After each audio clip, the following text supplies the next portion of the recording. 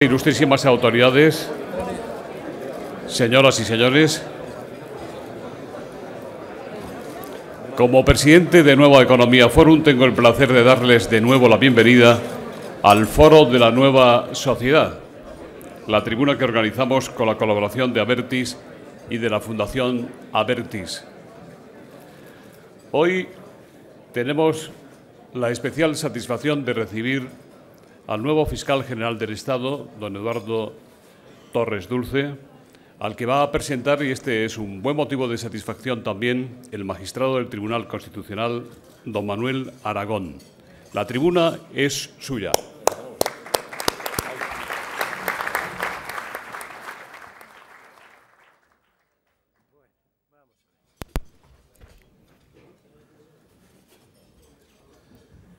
Buenos días a todos autoridades, señoras y señores,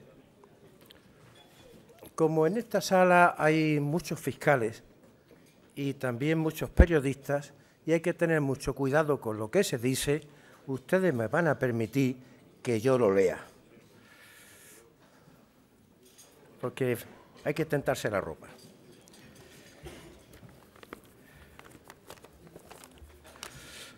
Eduardo Torres Dulce me ha pedido que le presente y yo no podía negarme a aceptar ese encargo que tanto me honra. Es cierto que, como suele decirse en estos trances, y en este caso con plena veracidad, Eduardo Torres Dulce no necesita ante ustedes de presentación alguna, pues todos los aquí reunidos conocen sobradamente su trayectoria profesional e incluso muchos sus condiciones personales. Así es que, después de lo que acabo de decir, yo podría dar por concluida en este momento mi intervención. Si no lo hago es por dos razones. La primera es porque debo cumplir con el protocolo de estos actos, que exige al presentador dar cuenta, aunque sea con brevedad, de los datos biográficos más relevantes del presentado. La otra razón, que me parece de más peso, es porque al margen de esos datos deseo contarles, también con la obligada brevedad, no solo quién es Eduardo Torres Dulce, sino sobre todo qué significa que Eduardo Torres Dulce sea el nuevo fiscal general del Estado. Un juicio este para cuya emisión tengo, creo, cierta capacidad. Dado el oficio que desde hace casi ocho años llevo desempeñando, y dado el especial conocimiento que tengo de Eduardo Torres Dulce, derivado de la larga y profunda amistad que nos une y que por mi parte está cimentada en la admiración. Eduardo Torres Dulce Lifante de estirpe castellana y andaluza, hijo de un gran juez que con el tiempo sería un prestigioso magistrado del Tribunal Supremo y presidente de su sala de lo social, cursó la carrera de Derecho en la Universidad Complutense de 1967 a 1972. Ganó las oposiciones a la Escuela Judicial en 1975, optando por la carrera fiscal ha estado destinado como fiscal en las fiscalías de Sevilla, Guadalajara, de la que fue teniente fiscal, y Madrid. Y de 1986 a 1996 en la Fiscalía del Tribunal Constitucional. En octubre de 1996 fue ascendido a la categoría de fiscal de sala, siendo nombrado fiscal de sala jefe de la Secretaría Técnica de la Fiscalía General del Estado puesto que desempeñó hasta que en marzo de 2000 fue nombrado fiscal de sala jefe de la sesión de lo penal del Tribunal Supremo, cargo del que fue cesado en junio de 2005, reincorporándose desde ese momento a la Fiscalía del Tribunal Constitucional. Pues bien, por obra de aquel cese, el Tribunal Supremo se vio privado, lamentablemente, de un extraordinario fiscal de sala jefe de lo penal, Pero el Tribunal Constitucional se encontró con la fortuna de recobrar a quien ya había sido en el pasado, durante diez años, uno de sus mejores fiscales. Y así, Eduardo Torres Dulce ha podido seguir colaborando otros seis años más con la jurisdicción constitucional, pues ese es el cometido del fiscal ante el Tribunal Constitucional. No la de ser una parte que defiende sus propios intereses en el proceso, sino la de ser un interviniente necesario en los recursos de amparo y en las cuestiones de inconstitucionalidad para defender los intereses generales, o más exactamente, para defender la Constitución y los derechos fundamentales en ella garantizados, para colaborar, en suma, desde la objetividad y la independencia en la alta función que el Tribunal Constitucional tiene encomendada.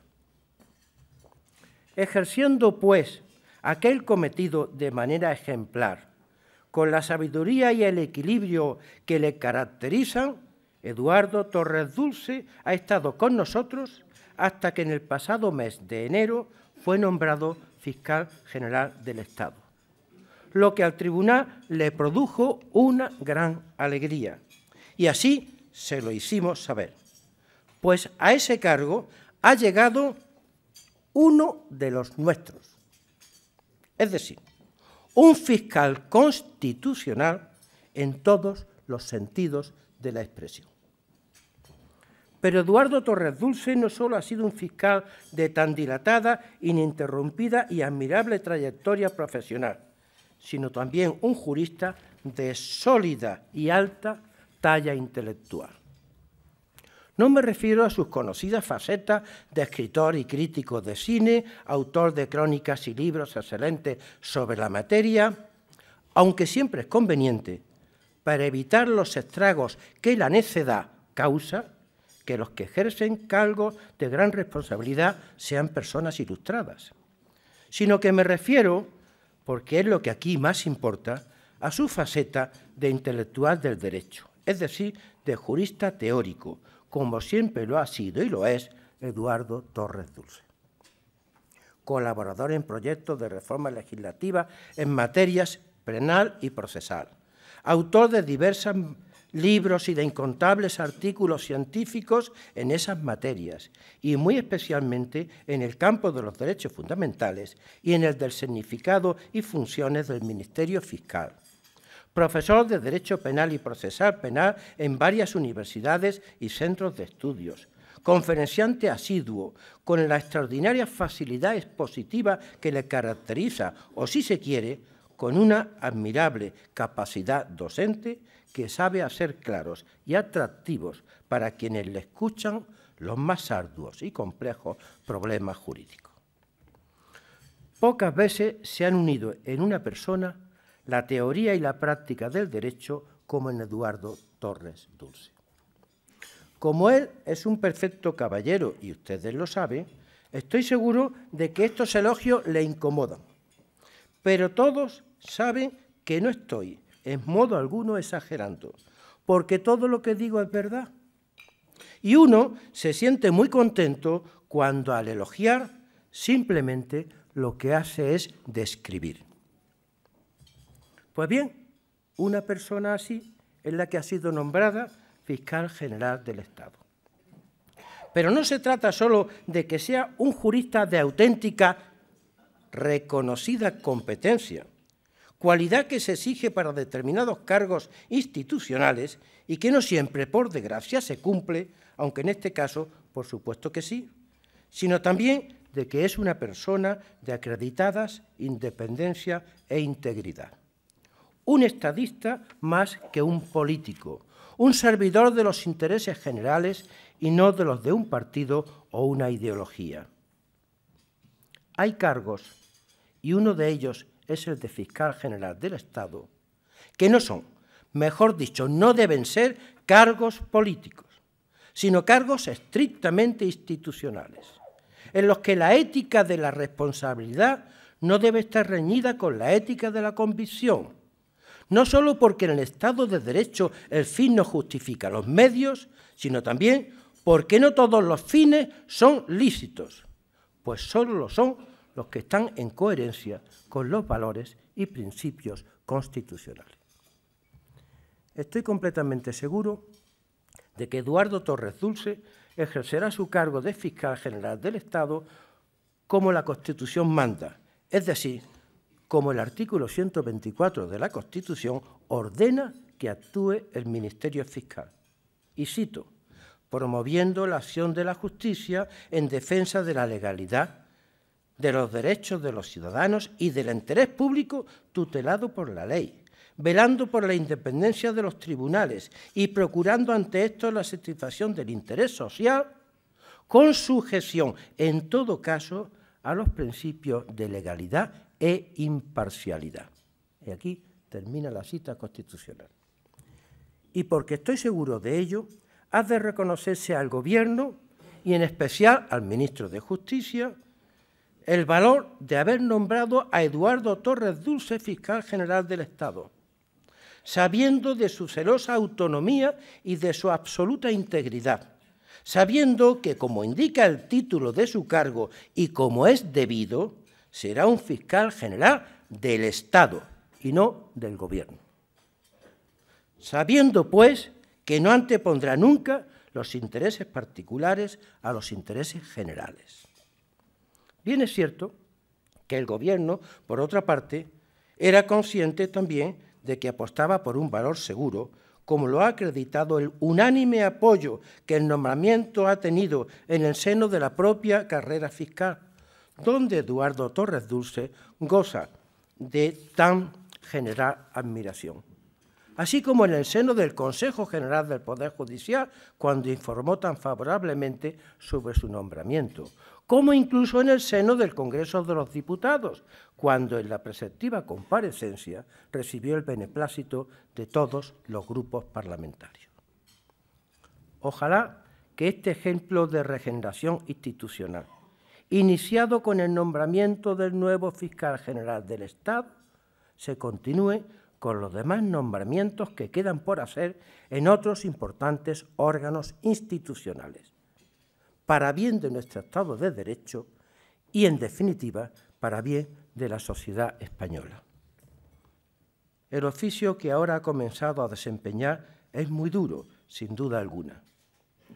Pero Eduardo Torres Dulce tiene sobrada fortaleza de ánimo y suficiente inteligencia para soportarlo. Y lo que es más importante, para llevar a cabo las reformas normativas y de actuación que el Ministerio Fiscal necesita. Para todos los que desde el derecho y la justicia servimos con independencia a los intereses generales como único norte de nuestra conducta y que tan preocupados estamos por la crisis institucional que durante, años, durante algunos años padecemos, el nombramiento de Eduardo Torres Dulce como fiscal general del Estado tiene un profundo, gozoso y esperanzador significado. Y ahora, Eduardo, es tu turno.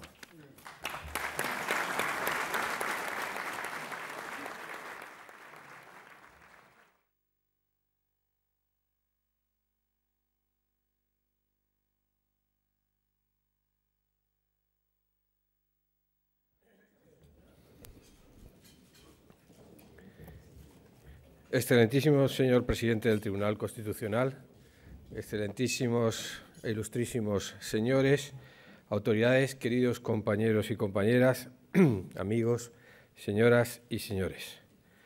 Antes que nada, agradezco a Nueva Economía Forum, Forum de la Nueva Sociedad, y a los organizadores y patrocinadores de este acto la ocasión de estrenar mi cargo de fiscal general del Estado en esta dimensión estrictamente mediática. Seguramente un foro público informativo como este no es el contexto en el que mejor nos desenvolvemos los juristas, pero es evidente que la presencia del fiscal general del Estado en él responde a la exigencia razonable de directa raíz democrática de quien, quien asume la responsabilidad de dirigir la institución encarnada de velar por la legalidad desde la perspectiva del interés social responda públicamente de sus proyectos y de sus convicciones. Es, por tanto, un verdadero honor y un gran placer, pero también una obligación de servicio a los ciudadanos, comparecer ante ustedes con la voluntad de explicar todo aquello que puede interesar a los presentes y a la opinión pública en torno a la acción y los proyectos del Ministerio Fiscal. Mi agradecimiento se hace especialmente extensivo a quien debo el honor de mi presentación en la mañana de hoy. Les confieso sin ambajes que me considero amigo, y no solamente amigo, discípulo de don Manuel Aragón Reyes, maestro eminente, jurista y magistrado ejemplar, liberal de siempre en sus convicciones, caballero intachable y espejo de intelectual sereno, coherente, independiente y libre. Sus palabras de presentación, generosas en razón a la amistad que nos profesamos, las agradezco de corazón y me enorgullecen por venir de quien tanto admiro y de quien tanto aprendo, no solamente en la vida y en el derecho, todos los días. La historia no sigue pauta alguna cronológica. Los godnes de cada siglo abren las puertas de cada era, allá donde los hombres libremente deciden cambiar los signos de los tiempos. El siglo XVIII no finalizó en 1800, sino que muy posiblemente se despidió con los albores de la Revolución Francesa o con los gritos de independencia que gestaron los Estados Unidos de América. Por su parte, el siglo XX no comenzó en su fecha cronológica de 1900, sino que retrasó su nacimiento muy posiblemente de nuevo tras finalizar la Primera Guerra Mundial. No tenemos aún perspectiva para conocer y fechar cuándo el siglo XXI en el que nos hallamos comenzará. Pero es evidente que ya lo ha hecho, pues los signos de cambio, muy a menudo unidos históricamente a convulsiones sociales e incertidumbres, una era se despide y otra se presenta, se aprecian ya con claridad.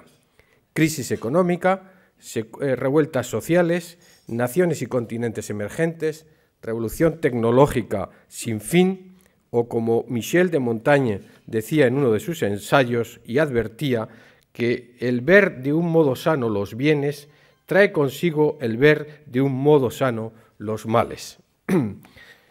Tenemos Decía William Shakespeare, miedo a la grandeza. Esta expresión de William Shakespeare en, Noche de Reyes es lo que de alguna forma puede prevenirse para estos duros tiempos de crisis.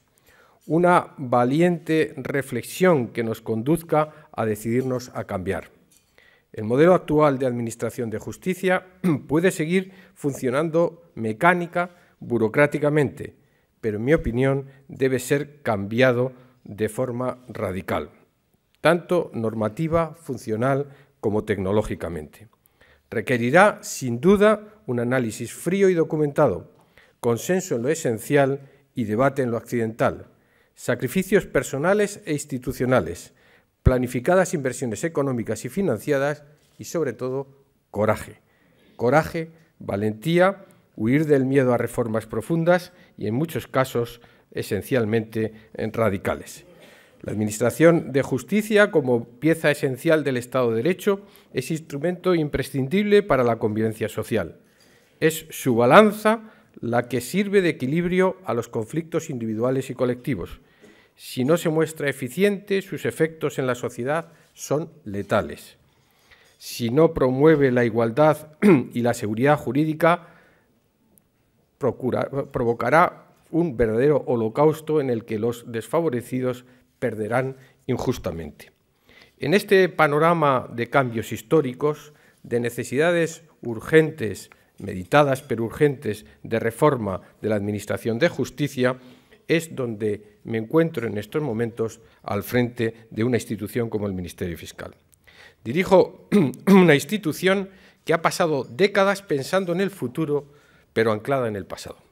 En este momento, sin embargo, se encuentra en plena encrucijada de un cambio histórico de perspectiva, un cambio que se concreta en la consolidación de los principios constitucionales que rigen su organización y funcionamiento y que deben traducirse en la puesta en práctica real y efectiva de esos principios.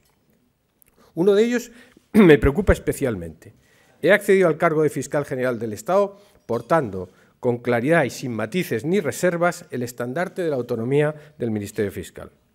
He defendido, en efecto, durante muchos años, en el seno de la carrera fiscal y representando a mis compañeros en el Consejo Fiscal, un modelo de ministerio público que no es ni más ni menos que, como ha dicho don Manuel Aragón Reyes, el de la Constitución de 1978.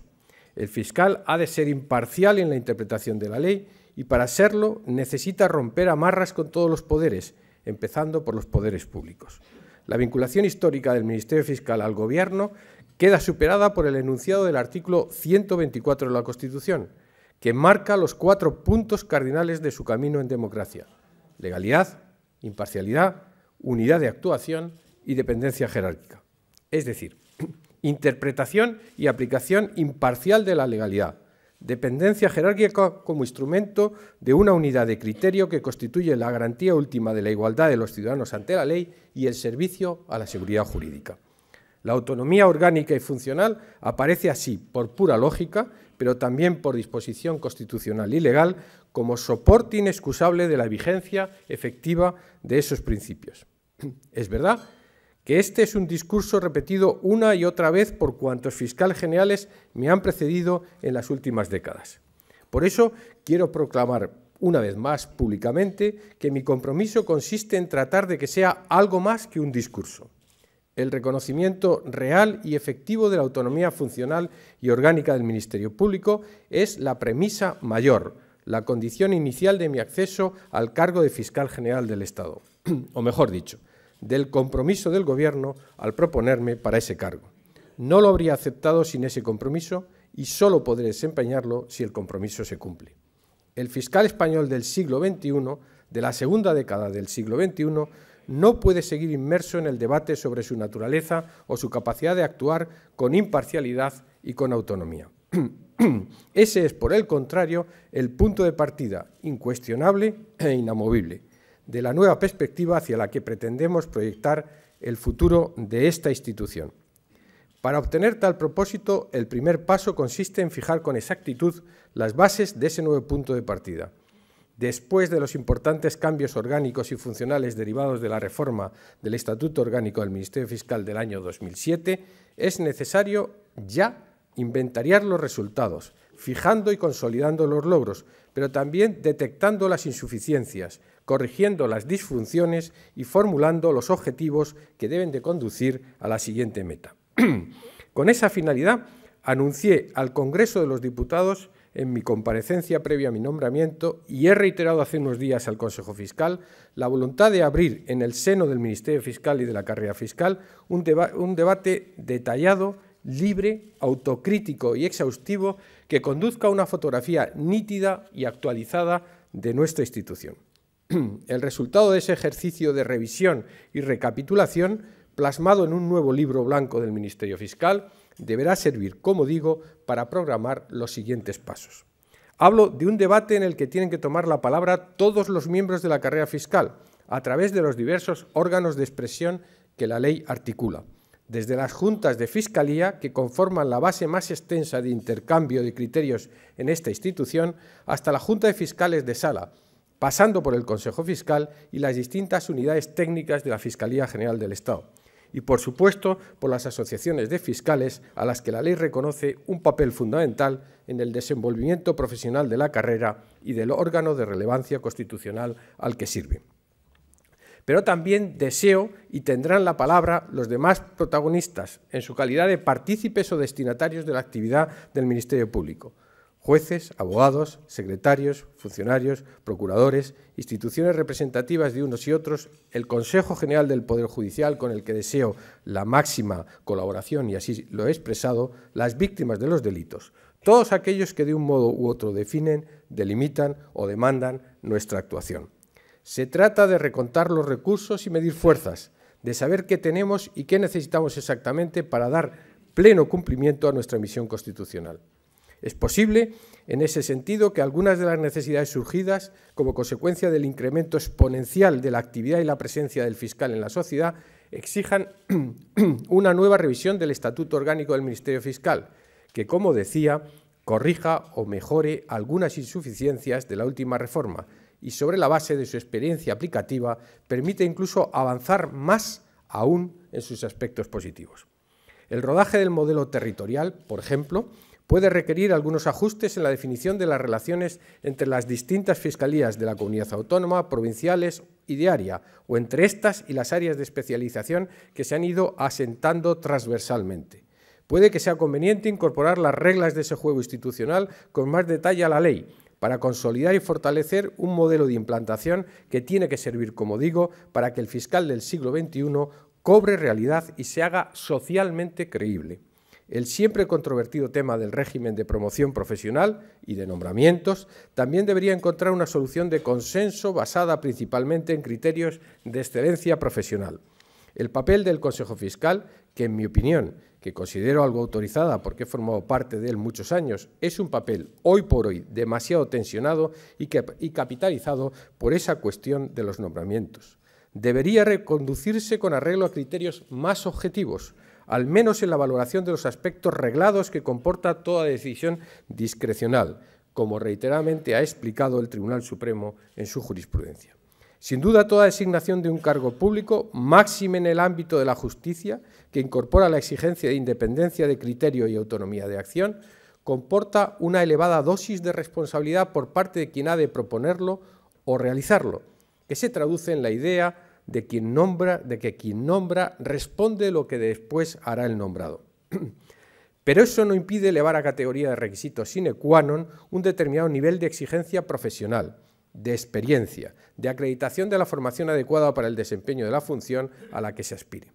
Rasgos de un perfil profesional que no es tan difícil de limitar y cotejar en cada caso concreto una mayor transparencia de las valoraciones que conduzcan a la formulación de cada propuesta de asignación de un fiscal para una tarea concreta, facilitada por la mejora y la actualización de las fichas curriculares de todos los fiscales, puede sin duda contribuir a reforzar la confianza de los ciudadanos y de los propios miembros de la carrera fiscal en ese proceso de promoción profesional que tanta, que tanta versión pública tiene mediáticamente en algunas ocasiones.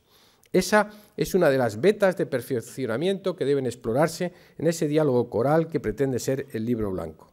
Abriendo un poco más el plano de esa nueva perspectiva, me permitirán esta cita cinematográfica, me gustaría hacer referencia a tres aspectos concretos, pero a la vez fundamentales, de ese ejercicio de inmersión en la figura del fiscal en el siglo XXI.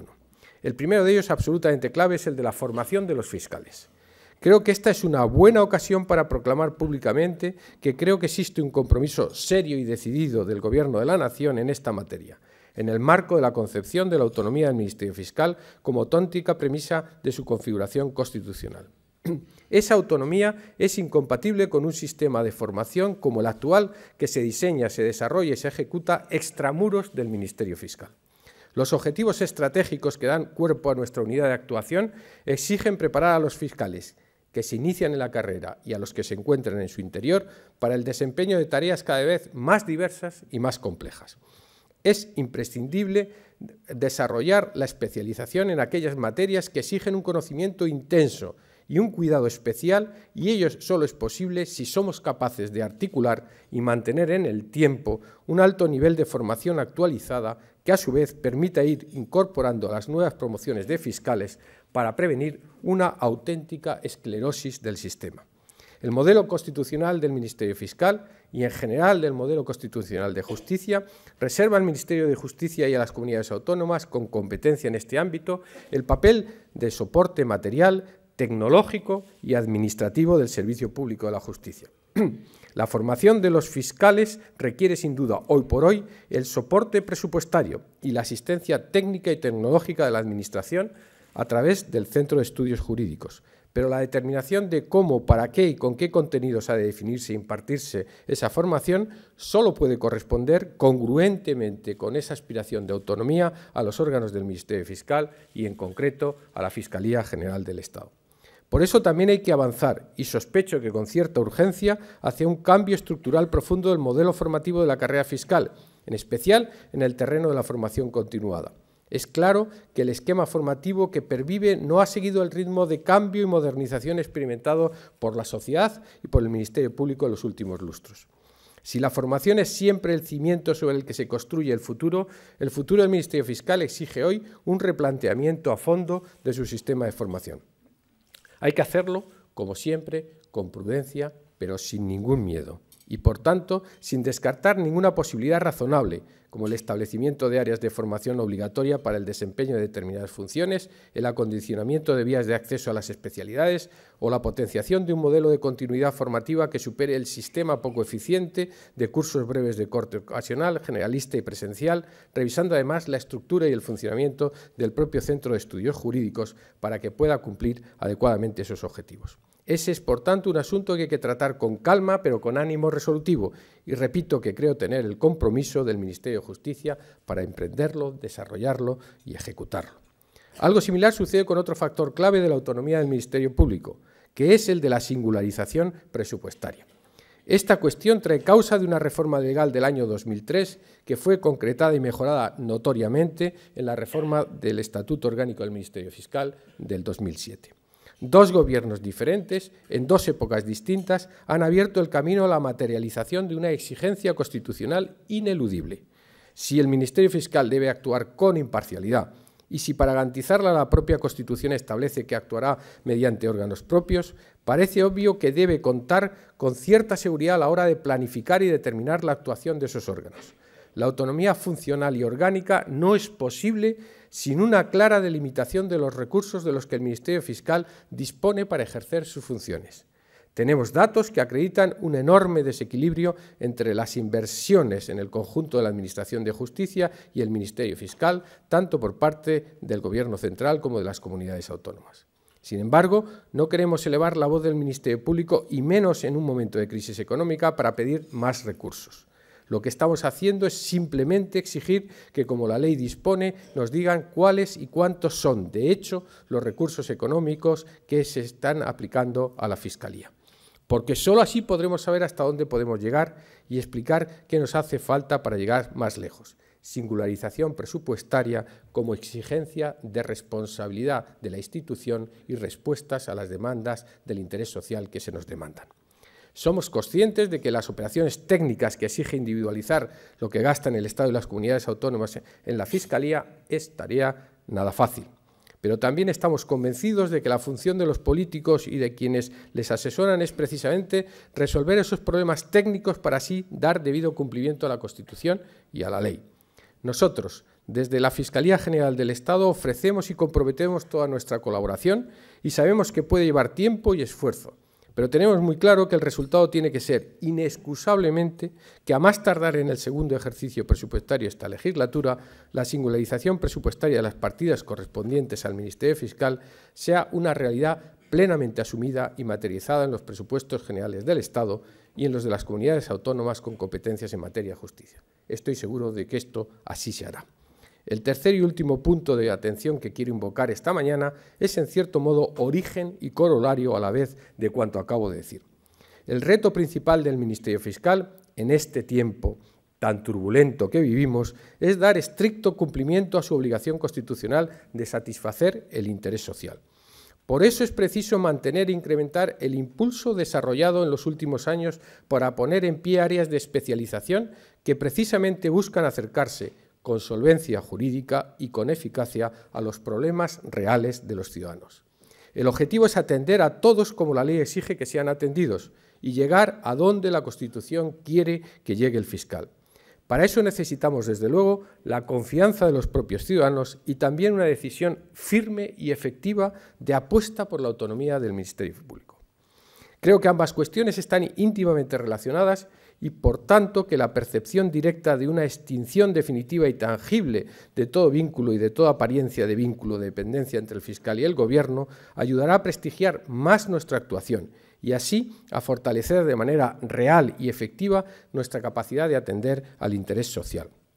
Un interés que en la sociedad democrática moderna ya no se identifica necesariamente con el interés general, legítimamente definido a través de la política, sino que es un concepto más amplio, más extenso y más plural que emana de la propia convivencia ciudadana y evoluciona con ella, y cuya satisfacción, y no por casualidad, Constitucionalmente se encomienda explícitamente al fiscal en el ámbito de sus competencias definidos en el artículo 124 de la Constitución.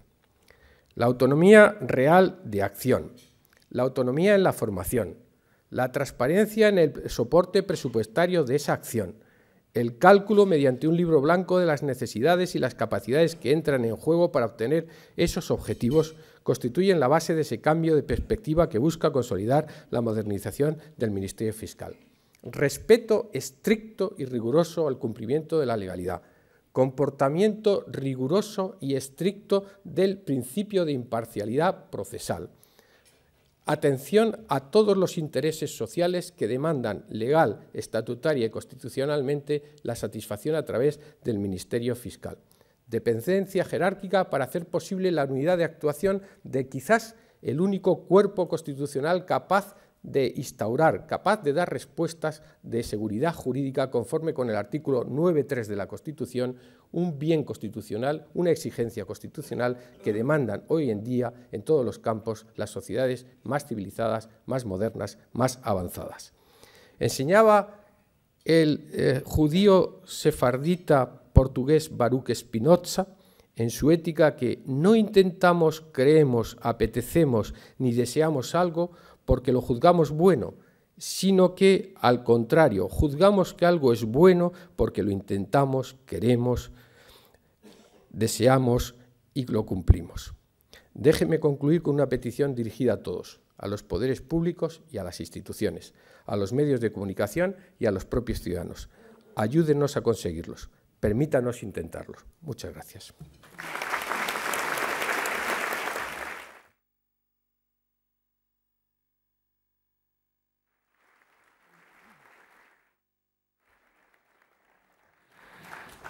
Muchas gracias, don Eduardo. Muchas gracias, don Manuel. Excelente conferencia. El coloquio promete mucho. Lo va a moderar don Antonio San José, periodista. Muy buenos días, muchas gracias. Yo quería comenzar, eh, señor Torres Dulce, con algo que en este país es raro, sorprendente, gratamente sorprendente, diría yo, que es la unánime satisfacción eh, que se ha registrado en medios judiciales, políticos y periodísticos por su nombramiento. En términos cinematográficos, que conoce muy bien, podríamos definirlo como un éxito de crítica y público. No sé si ha disfrutado estos primeros días de un recibimiento, digamos, absolutamente favorable por parte de toda la sociedad. Em, eh, eh, buenos días, Antonio. Gracias por las palabras. Sí, realmente ha sido muy grato el acceder a un cargo, vamos a decir, tan, tan peligroso de ejecución como es la Fiscalía General del Estado recibiendo eh, pues, pues la confianza, más que los elogios, la confianza de los compañeros del Consejo General del Poder Judicial, del Congreso y de los medios de, comunicación. Eso, eso implica también una autoexigencia que puede elevar el listón, ¿no? pero es grato eh, que haya habido consenso porque eso significa confianza en las instituciones y confianza en que la institución va a cumplir con los fines eh, que constitucionalmente y legalmente eh, se me han asignado y se le han asignado. Muy bien, pues vamos con unas preguntas. La primera la formula Carmela Díaz, de Diario Abierto. Dice, ¿qué opinión le merece el pago de la indemnización a Arnaldo Tegui, hecho efectivo por el Ministerio de Justicia esta semana?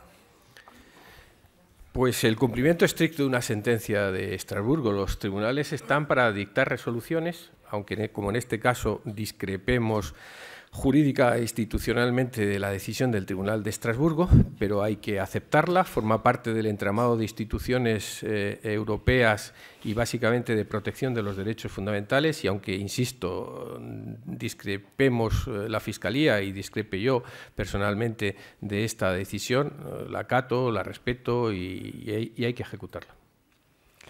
Pero entiende que a veces la sociedad, los ciudadanos no entienden determinadas actuaciones de la justicia. Bueno, en este caso, como sabe usted, se trataba de un conflicto entre lo que se entendía como libertad de expresión y el ejercicio de, la, de, los límites de la libertad de expresión, eh, tanto en la actuación de la Fiscalía en la Sala Segunda del Tribunal Supremo como posteriormente la Fiscalía del Tribunal Constitucional, el Tribunal Supremo, la Sala Segunda y el Tribunal Constitucional consideraron que las expresiones del señor Otegui desbordaban la libertad de expresión en sus alusiones a la figura de la monarquía y de su majestad el rey e incurrían en un delito. Eh, no, lo han, no, lo han, entendido así la Corte del Tribunal de, Estrasburgo e insisto que eh, pues, eh, soy absolutamente riguroso a la hora de acatar y respetar las decisiones, aunque como en este caso discrepe radicalmente y absolutamente ellas. Comprendo que la ciudadanía nos acompañe en este caso en la valoración de discrepancia respecto a esa decisión de Estrasburgo, que insisto, una vez que se firman convenios como el convenio de Roma, hay que acatar, respetar y además es bueno que se produzca ello incluso en situaciones en las que resulten decisiones extremadamente dolorosas para, para, la sociedad y para aquellos que hemos intervenido en, el, en la defensa de los derechos y libertades. Lupe Ortiz, de Onda Madrid. Dice el presidente francés, Nicolás Sarkozy, ha dicho que el acercamiento de presos de ETA es deseable y posible dada la situación de alto el fuego. ¿Comparte estas manifestaciones de Sarkozy?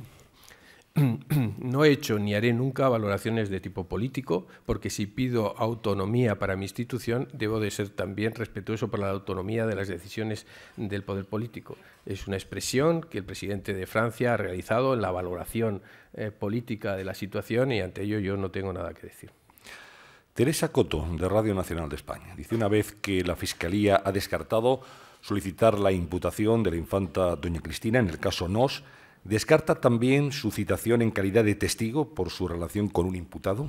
Eh, la Fiscalía Anticorrupción, los fiscales que llevan el caso eh, de Palmarena, en la pieza separada a la que usted se ha referido, han decidido con absoluta autonomía, que yo respeto, pero además comparto, y han expresado jurídicamente las razones por las que no es posible, eh, no es posible pedir la imputación de la infanta doña Cristina en el futuro, cuando se plantee, si es que se plantea eh, su declaración como testigo, de igual forma, con absoluta autonomía, la Fiscalía examinará las razones por las que se solicita dicha declaración testifical y si ello se compadece eh, con respecto a lo actuado en las actuaciones.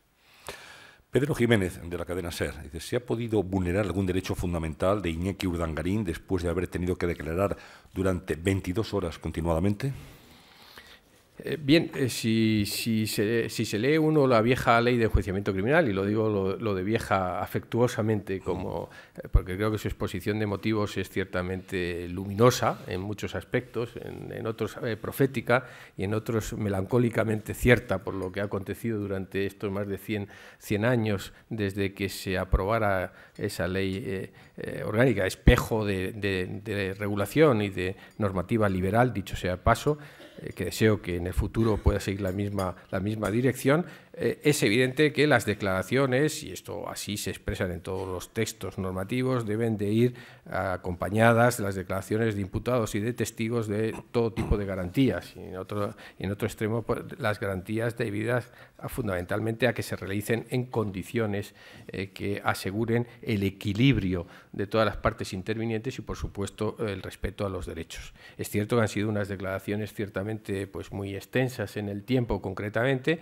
eh, por eh, las circunstancias que rodean el caso, eh, la complejidad de los asuntos se han extendido más allá. No creo que sea un modelo, vamos a decir, exportable a otras situaciones, aunque puedo entender que en estas circunstancias así, así se hayan realizado. En todo caso, es evidente que las partes intervinientes en el proceso pueden y deben eh, referirse al juez correspondiente, solicitar recesos, solicitar eh, que no se prolonguen las, las declaraciones más allá de los términos convenientes para que, insisto, la declaración se haga con eh, el, debido equilibrio a los derechos de todas, de todas las partes. Corresponde a las partes eh, ponerlo así de manifiesto y, por supuesto, al señor juez eh, instructor, en este caso, determinarlo. No es aconsejable que las declaraciones se realicen, vamos a decir, en un marco de tensiones o de extensión, pero también debo de reconocer que con una cierta frecuencia ello se, produce por muchas razones que, concurren en dichas reclamaciones. Insisto que estoy seguro que si las partes o el propio Ministerio Fiscal hubiera entendido que la declaración del señor Urdangarín en cuanto a la prolongación de, horaria de los mismos excedía de aquello aconsejable, lo habrían así puesto de manifiesto al juez de instrucción y estoy seguro que el juez de instrucción lo, habría acordado sin ningún género de dudas, porque estoy convencido de que todos los jueces de instrucción son extremadamente respetuosos no solamente con la ley, sino con, eh, sino con su espíritu. Y una tercera pregunta sobre este caso la formula Carlota Garrido de Intereconomía. Dice, tras la declaración de Iñaki Urdangarín ante el juez, le pregunta si la Fiscalía considera que hay pruebas suficientes para solicitar la apertura de juicio oral. en, la instrucción de las causas, y vuelvo otra vez a la exposición de motivos de la Ley de Enjuiciamiento Criminal de 1882, prevé que el papel del juez instructor, y conviene no olvidarlo, no digamos ya el del fiscal interviniente en su papel de inspector, como decía la Ley de Enjuiciamiento Criminal del sumario, es aportar tanto las pruebas a favor y en contra de imputados eh, y de las partes intervinientes, eh, testigos, etcétera, dentro del proceso. Y por lo tanto es evidente que no ha concluido en modo alguno la instrucción. Según mis noticias, eh, queda, no voy a decir un largo camino, pero un camino amplio de seguir investigando y por lo tanto me parece que sería contrario al papel de imparcialidad del Ministerio Fiscal y poco respetuoso para la presunción de inocencia de quienes intervienen en el proceso, aventurar, eh, aventurar opciones de acusación o de sobrecimiento en el futuro. Es evidente que las investigaciones están yendo en una dirección concreta y muy determinada, eh, con, un, con, un, eh, con, un, avance continuo con respecto a dichas investigaciones, pero esperemos a que concluya dicha instrucción y los fiscales eh, del caso valorarán con absoluta imparcialidad si procede o no procede la apertura del juicio oral y en qué extensión procede dicha apertura. Otro capítulo. Alfonso Pérez Medina, de la agencia Europa Press, dice, ¿considera usted que el Supremo ha vulnerado los derechos fundamentales de Baltasar Garzón al condenarle por las escuchas del caso Gürtel, ¿cómo defiende al ex juez? Eh, mm, yo en este punto me limito a lo, que, a lo que se me ha informado por parte de la Fiscalía del Tribunal Supremo. Los fiscales que han llevado esta, causa han despachado el incidente de nulidad de actuaciones planteado por la defensa del señor Garzón contra eh, la sentencia en que le condenó en el caso, vamos a designarlo así, de las escuchas. Y han eh, entendido que eh, no se puede compartir los criterios expresados en, en ese escrito solicitando la nulidad de actuaciones por parte del señor Garzón. Y esa es la la última palabra en este momento con respecto a la posición de la Fiscalía. Respetamos, pero no compartimos eh, la, petición del señor Garzón en el sentido de que se han vulnerado sus derechos constitucionales a lo largo del proceso y en, y en la propia sentencia. Pues sobre Garzón le pregunta también María Peral, del diario El Mundo. Dice, la sentencia que ha condenado a Garzón establece que no solo el juez, sino que también los fiscales conocieron indebidamente las estrategias de defensa de los imputados del caso Gürtel. Es un hecho probado que los fiscales fueron los que expurgaron las conversaciones ilícitamente interceptadas, interceptación que no recurrieron. Todo ello ha llegado al defensor de Correa, que ha solicitado la sustitución de los fiscales por falta de imparcialidad. ¿Cuál es su opinión?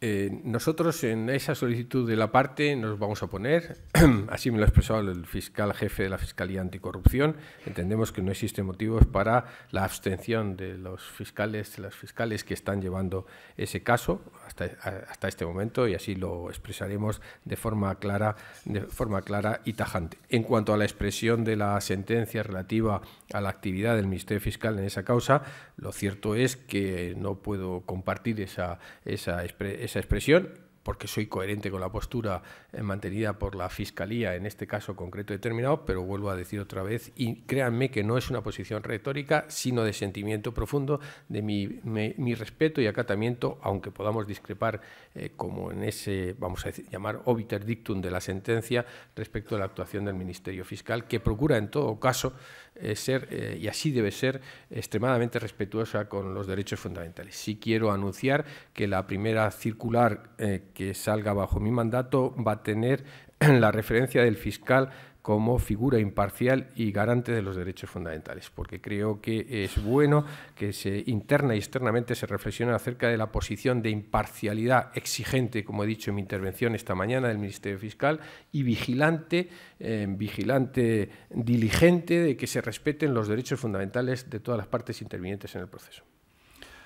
Pregunta de Albert Calatrava de Cataluña Radio. Dice, después de las protestas de esta semana, con imágenes como las de Barcelona, a la Fiscalía le preocupa un rebrote de la violencia eh, en la respuesta de la sociedad a los recortes. ¿Se debe actuar con más contundencia contra los brotes violentos que van a las manifestaciones a liarla? El empleo, el empleo de, la, de, de, medios disuasorios por parte de la fuerza pública eh, corresponde a la propia fuerza pública estoy seguro que deberá hacerlo con el mayor respeto a los derechos de los ciudadanos y con la proporcionalidad de vida. De eso no, me queda la menor duda. En cuanto a la preocupación, es evidente que la preocupación de la Fiscalía es eh, ser un observatorio permanente de las tensiones sociales porque ello eh, produce inevitables consecuencias, sobre todo en el campo del derecho penal. Y es verdad que estamos preocupados por cualquier brote de, conflictividad social que de, forma evidente se produzca con, con violencia. Tengo que decir que la Fiscalía de Valencia está actuando con extremada celeridad, diligencia, con mucho cuidado, con mucha proporcionalidad, examinando todos los puntos eh, de vista en las actuaciones que se han desarrollado en Valencia. José María Brunet, de La Vanguardia, dice, ¿va a cambiar algo en la Fiscalía Anticorrupción en la nueva etapa, vista la preocupación de la sociedad española por el problema y su azarosa experiencia hasta la fecha? Yo expresé en, mi comparecencia ante el Congreso de los Diputados que, por, propias convicciones, pero por exigencia igualmente de mi cargo, soy extremadamente beligerante con la corrupción con la corrupción política, con la corrupción social, con la corrupción económica. Por lo tanto, he dado las instrucciones a la Fiscalía Anticorrupción y a las secciones de, delitos económicos para que eh, eh, se muestren extremadamente vigilantes en esta cuestión. Creo que es un verdadero cáncer social, no solamente porque mina elementos esenciales de la convivencia, eh, porque lastra recursos necesarios para la propia convivencia social, sino porque establece un clima de enorme desconfianza confianza en instituciones importantes para la convivencia social y para el Estado de Derecho. Y ello eh, debe de reprimirse de una forma absolutamente ejemplar.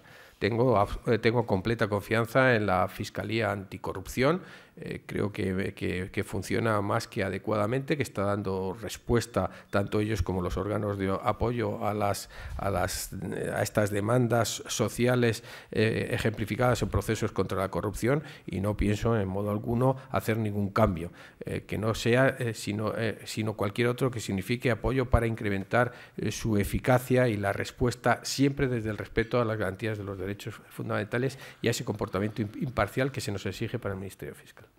Ollane Pérez, de Euskadi Ratia, dice, ¿tiene el fiscal general del Estado una respuesta a la petición de las diversas asociaciones de niños robados de fijar una única posición en todas las fiscalías de España?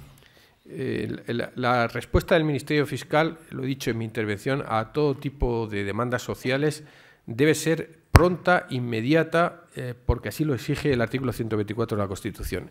En esta dolorosa eh, perspectiva de los denominados niños robados, la actuación del Ministerio Fiscal fue inmediata. En este momento, la Secretaría Técnica de la Fiscalía General del Estado está compilando y está recibiendo continuamente eh, las actividades de las distintas fiscalías que han abierto diligencias o están colaborando judicialmente en los procesos abiertos, en algunos casos con satisfacción satisfacción de respuestas en un terreno que no resulta fácil ni investigar ni calificar jurídicamente.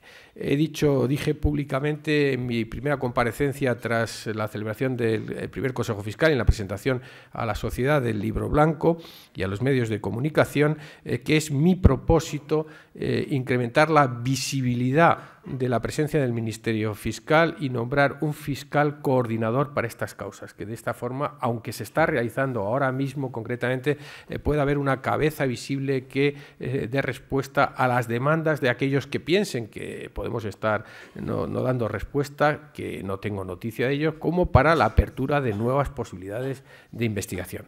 Para ello yo sí quiero decir que también eh, solicito públicamente la colaboración de las autoridades eh, del Estado central y las comunidades autónomas, imprescindibles en muchos casos para llegar los medios para sacar adelante las investigaciones. Creo que se trata de despejar cualquier duda que, por parte de la ciudadanía pueda haber eh, de, de actividades de delictivas que en el pasado pueden haber producido estos desgarros familiares absolutamente intolerables.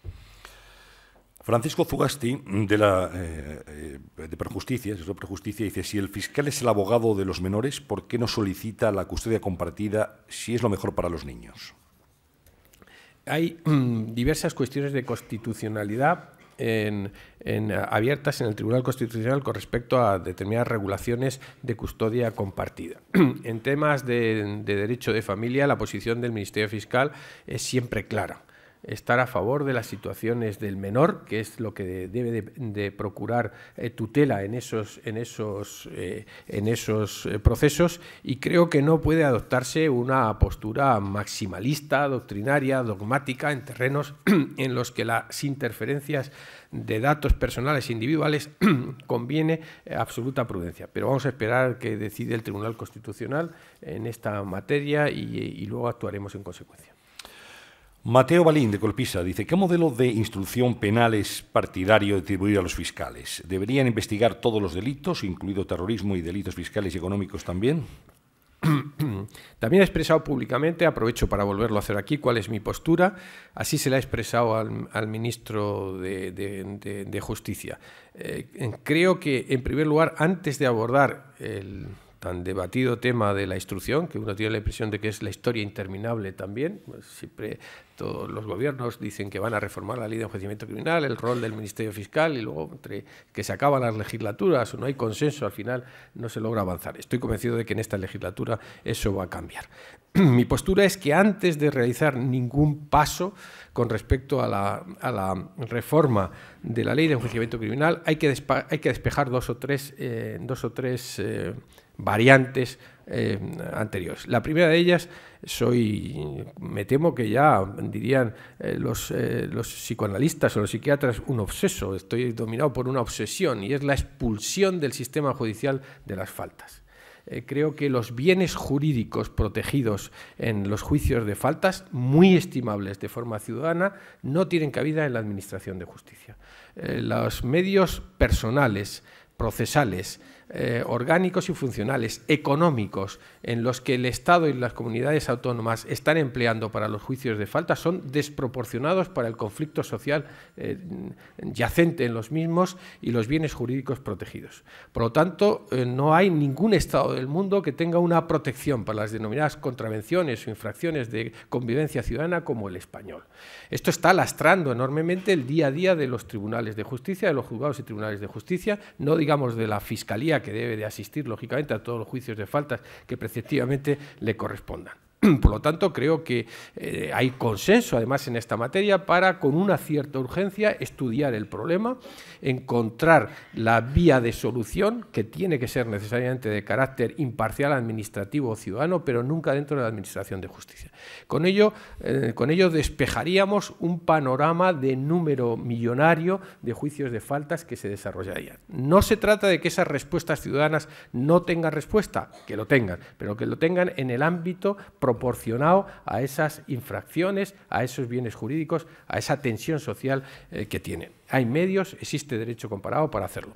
En segundo lugar, creo que es eh, hora de que reflexionemos de que cuando creamos instrumentos procesales, antes o después hay que auditar de qué forma están comportándose esos, eh, esos instrumentos procesales. En este momento tenemos abierto desde hace años la vía de los denominados procedimientos de urgencia y juicios rápidos, incluso para las faltas. Creo que es la hora y así lo vamos a iniciar.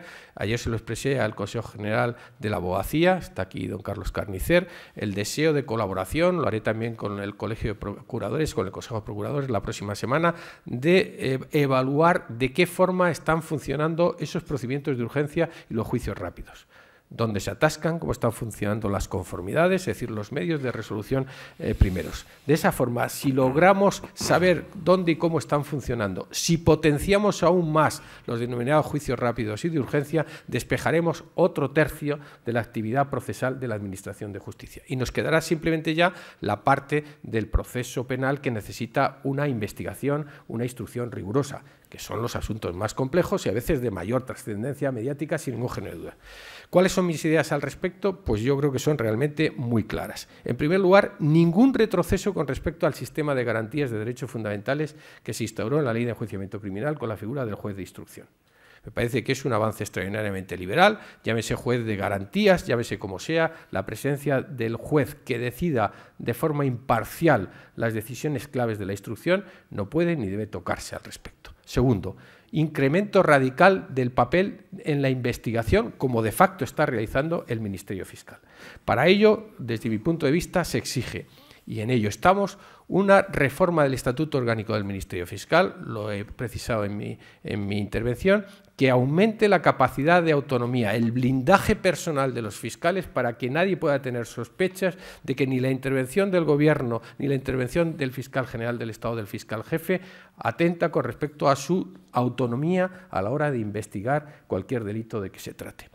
En segundo lugar, eh, creo que es absolutamente exigible, y esto hay que pedirlo a los, poderes públicos, que para dotar de eficiencia y de visibilidad e imparcialidad a la investigación del Ministerio Fiscal y al papel de los jueces de instrucción, es imprescindible la fijación y adscripción de unidades de policía judicial y de peritos en exclusividad a jueces y fiscales.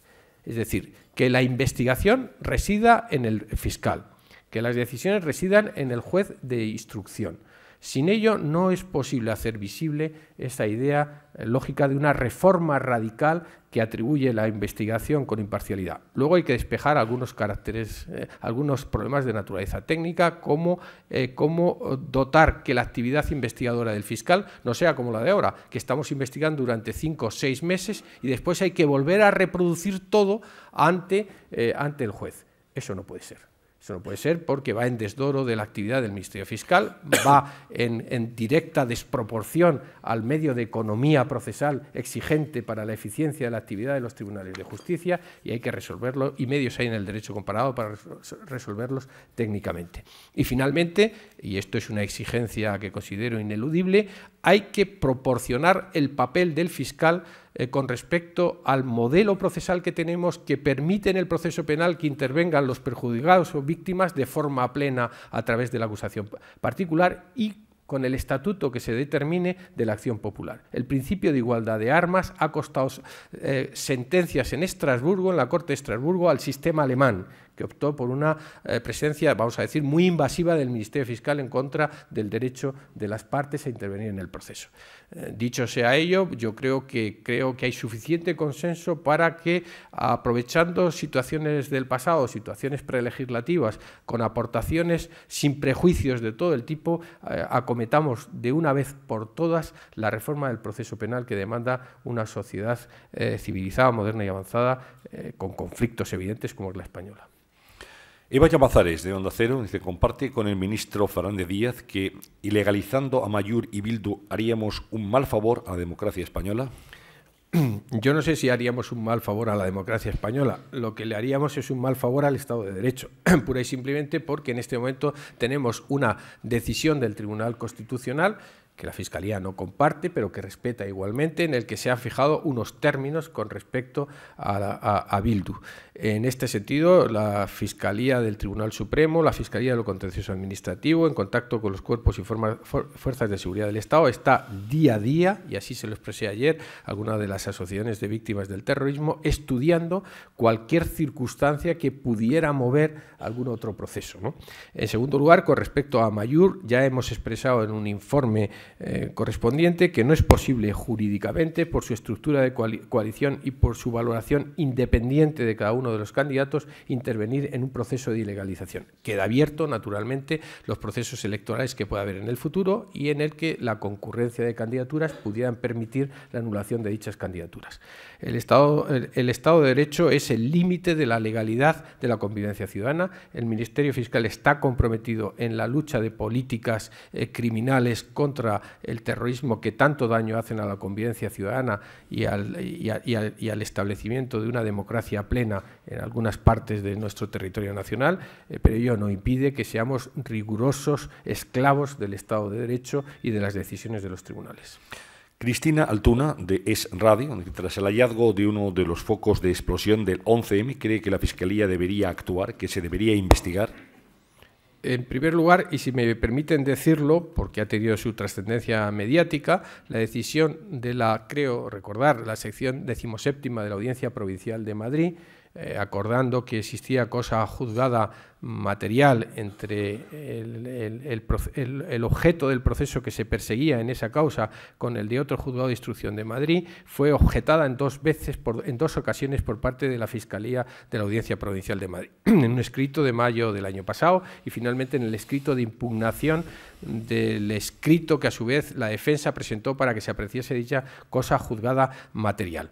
La resolución de la, insisto, de la sección decimoséptima de la Audiencia Provincial de Madrid no la compartimos, creemos con todo el respeto que está equivocada, que no había cosa juzgada material entre uno y otro, porque tanto la identidad de los sujetos como el objeto era por completo diferente. Lo que sucede es que tras un estudio, la Fiscalía del Tribunal Supremo me transmitió que resultaba irrecurrible, y cuando digo no es no viable jurídicamente, muy difícil de recurrir, sino legalmente irrecurrible, de acuerdo con un acuerdo de la Sala Segunda del Tribunal Supremo, ese auto acordando el sobreseimiento libre. Y por lo tanto, si la Fiscalía no lo ha recurrido, ha sido porque eh, procesalmente no era posible el recurso, no porque no fuera viable el recurso. En segundo lugar, Ayer solicité del fiscal jefe de Madrid la apertura de unas diligencias de investigación en relación con, una, con la aparición de la noticia de, uno, de unos restos ferroviarios en un almacén de una empresa de Madrid, en Villaverde, si no recuerdo mal.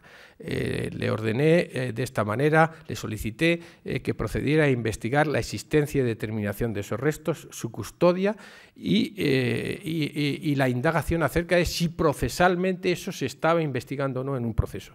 Si se estuviera investigando en un proceso, archivaríamos las diligencias de investigación y actuaríamos diligentemente en la causa en la que se estuviera siguiendo esa, esa, esa, actividad. De no ser así, agotaremos las diligencias de investigación eh, con el objetivo que estamos precisando y a continuación le he solicitado la inmediata judicialización. No hay por parte del Ministerio Fiscal a la hora de investigar nada que no sea revocar los hechos probados de la sentencia, que están ahí concretamente, pero indagar cualquier otro término que pudiera calificarse de un delito de destrucción, la administración de justicia o de algún otro tipo, eh, por supuesto el Ministerio Fiscal no tiene no solamente ningún inconveniente, sino que tiene la obligación de llegar hasta el fin en esas investigaciones.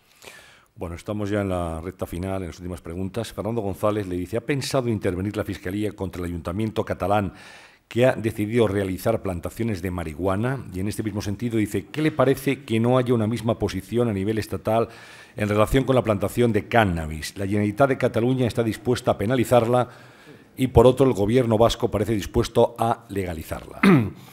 En la parte, normativa, eh, lógicamente, expresado que uno de los nortes de la actuación del Ministerio Fiscal es asegurar el principio de seguridad jurídica, artículo 9.3 de la Constitución, que me parece que es absolutamente esencial. No solamente desde el punto de vista de la convivencia ciudadana, sino de la, de la respuesta común de de la Administración de Justicia a los problemas que se le sometan, imperativo del Ministerio Fiscal y, como reiteradamente se ha expresado, eh, un condicionamiento importante de actividad económica, de implantación de empresas, etcétera, etcétera. Por lo tanto, lo consideramos desde todos los puntos de vista. La Fiscalía Antidroga está examinando eh, esa propuesta del Ayuntamiento eh, catalán y una vez que fije posición y me la, y me la transmita, actuaremos en consecuencia. José María Navalpotro, de la revista Mundo Cristiano, dice, con la presumible reforma de la ley del aborto, tiene intención de dar instrucciones a los fiscales para que persigan con mayor rigor las infracciones de forma que se persigan los casos que estrictamente no se ajustan a la ley.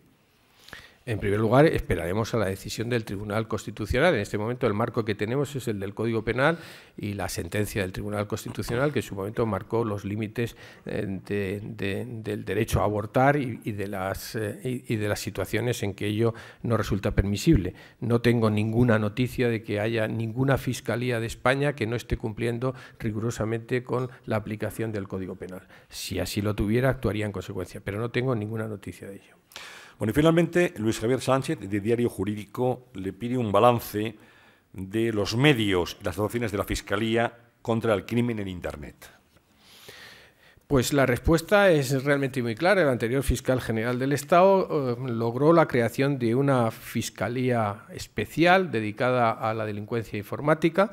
Está en manos de una fiscal muy competente. Eh, ha establecido una red de delegados eh, muy especializados en toda España, están realizando eh, eh, actividades concretas y determinadas, creo que muy imprescindibles. Nos estamos enfrentando con una delincuencia que no resulta fácilmente, eh, vamos a decirle, retratarla fotográficamente por la enorme dispersión que suponen los medios informáticos. Tampoco tenemos un tratamiento normativo. El derecho siempre va detrás de la realidad social y habría que pedirle a los legisladores no ya mayor prontitud, sino mayor realismo a la hora de tratar todos los puntos de vista, que no resulta especialmente, especialmente fácil. Eh, me han hecho trasladar eh, una serie de, conclusiones que, si es preciso, haremos públicas eh, para, para, que la sociedad conozca que se está trabajando con diligencia, con enorme imaginación y sujeción a la realidad para dar respuestas a este tipo de delincuencia que, evidentemente, es una de las muestras de cómo la realidad social, como he dicho, está abriendo el nuevo siglo. Pues muchas gracias, señor Torres Dulce. Voy a ceder la palabra a don Ernesto Mata, presidente del Consejo Asesor de Avertis en Madrid, para que cierre este desayuno en nombre de sus patrocinadores. Vale, pues muchísimas gracias. Ante todo, quisiera dar fundamentalmente las gracias a Foro Nueva Economía y a su presidente José Luis Rodríguez por permitir y por haber invitado a la Fundación Avertis, Avertis a participar y patrocinar un acto de esta índole tan importante en la primera aparición de Don Teres Dulce, persona que todo el mundo, como ha dicho el presentador, causó una buenísima impresión y, una aclamación, diría yo, cuanto a su nombramiento se refiere. ¿no? Gracias también a Manuel Aragón ¿eh? por su intervención, ¿eh? que yo resumiría en, dos eh, frases no conexa. Una dice, elogiar en el caso de Eduardo Torres Dulce es describir la verdad. Y la otra es el fiscal del Estado y no del gobierno. Son dos frases que han quedado clave. También gracias a Antonio San José, que como siempre, con tanta brillantez, suele, suele moderar estos actos de esta índole. ¿no? Y en cuanto a la intervención del fiscal general del Estado, machaconamente eh, me he quedado con la, idea de la imparcialidad. ¿eh? Insiste, y para eso reclama formación y reclama singularización presupuestaria. Dice, y es verdad, que cada fiscal general cuando, toma, cuando llega a la toma de posesión, habla de imparcialidad. Él quiere pasar de la imparcialidad a la actuación y para eso reclama en cierto modo la ayuda a la sociedad civil. Yo lo que pediría es que le ayudásemos a que eso a, cometa y que llegue bien a ese término. Así que muchísimas gracias.